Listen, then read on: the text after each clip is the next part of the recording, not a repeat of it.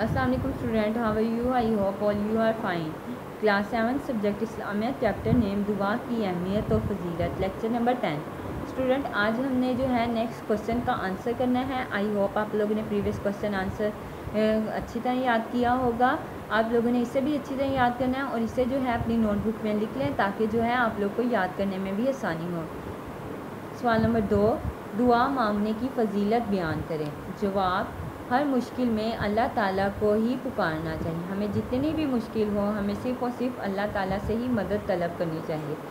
और इसी से मदद तलब करनी चाहिए, बेशक वो सुनता और जानता है। अल्लाह ताला हमारी मुश्किलात को जानते हैं और सुनते हैं। हम जो दुआ मांगते हैं, वो अल्लाह ताला हमारी सुनते हैं। इशाद बारी ताला है।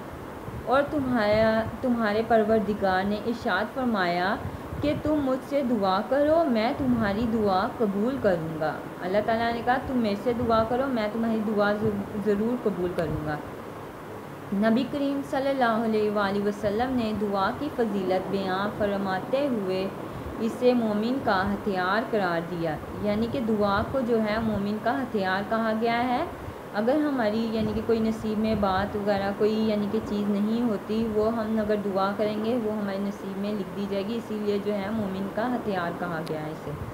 अगर कोई दुआ अल्लाह ताला की किसी हमत के तहत दर्ज कबूलियत हासिल ना ले, यानी कोई ऐसी हमारी दुआ है जो कबूल नहीं हो रही हो तो अल्लाह ताला ने उसमें हमारी बेहतरी की होती है तो अल्लाह ताला क़यामत के रोज़ इसे दुआ का, इस दुआ का बेहतरीन बदला अता फ़रमाएगा। यानी कि इस दुआ का बदला जो है, हमें क़्यामत के रोज़ मिलेगा।